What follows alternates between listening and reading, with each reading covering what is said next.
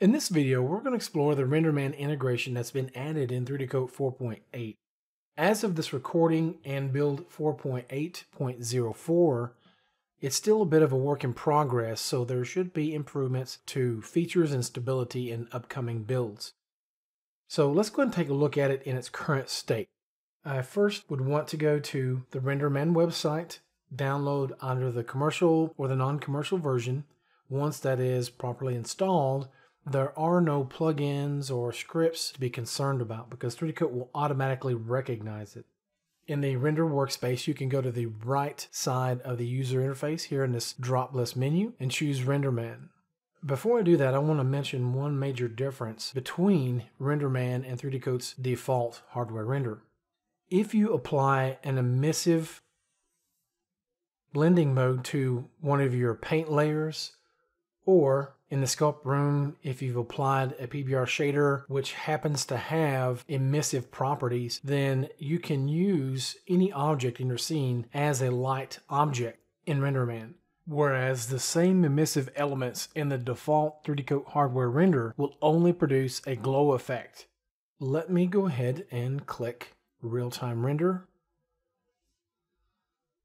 this is 3D Coat's hardware render, and you can see it glows, but it's not casting light on anything else in the scene. I also happen to have a rectangular light object that you can see here. Again, it does glow, but it's not casting light on anything. This only applies again to the hardware renderer, but for RenderMan, when I click Render Preview, it actually will treat those objects as if they are light emitting objects.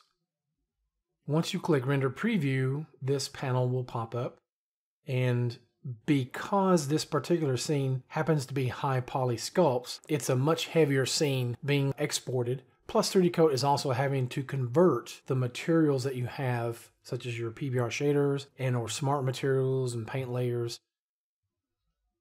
So left mouse click to drag that into the center and I'll wait for it to begin rendering.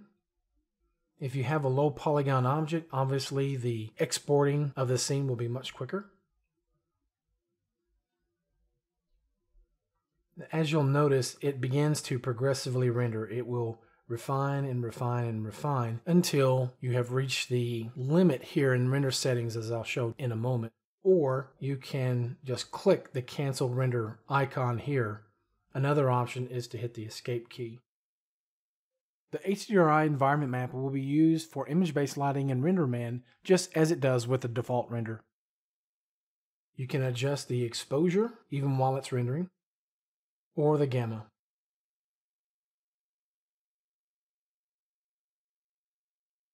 I'll go ahead and click this icon to stop the render. And now I'll turn that rectangular light object off. I'll go back Wacom tablet is messing with me right now, so I'm not able to see my cursor sometimes. With that rectangular light source turned off, I click the render preview button once more. So again, it'll take just a moment for it to load. Okay, so it's resuming again.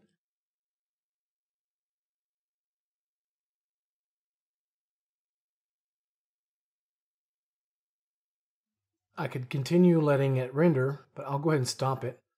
You have a scrub tool where you can scrub back and forth between the different images that you've rendered. So I'm going to use the up arrow key to go back one render. Down arrow key will step forward. So you can see the difference with that light turned on and with it turned off. So I'll go ahead and close this out. Now, if I go to the render settings, you'll see the default is at 1280 by 720 you can set the time limit here and change the different parameters for your sampling. You can also use GPU denoising. I'll go ahead and cancel that. You may want to set your depth of field plane first by checking depth of field plane and then adjusting here with this parameter its location. You also may want to adjust the depth of field degree if you check store alpha channel, it's basically going to remove the background. You would adjust your denoising level if you're using denoising. I'm going to leave that off for the time being. And then your resolution gate. This is where you would point to the output for your renders. And I'll go to final render.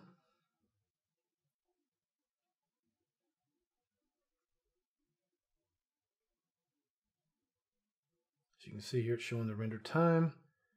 It's waiting for the first checkpoint. And then it'll show a percentage down here of its progress momentarily. You can stop the render here, or again, hit the escape key. I should mention while it's loading the scene, you also happen to have other shaders here in the shader panel.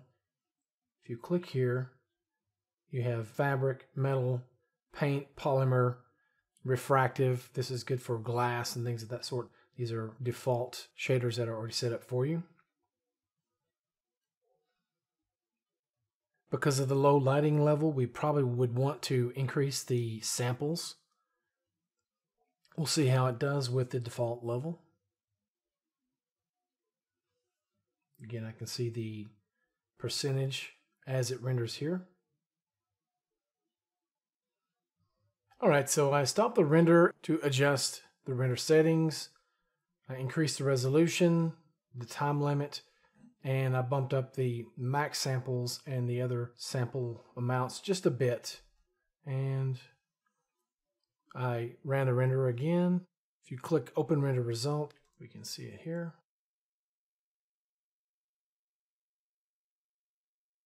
Now, once we have it, we can use our arrow keys to go back and check the different render passes that it creates. As you can see, different diffuse, emissive, specular, indirect diffuse, and so on.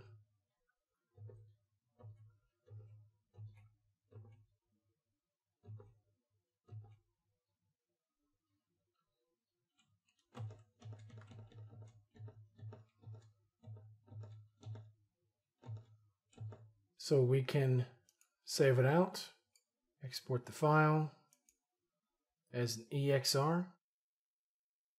That's going to be a quick overview of the RenderMan integration in 3D Coat 4.8.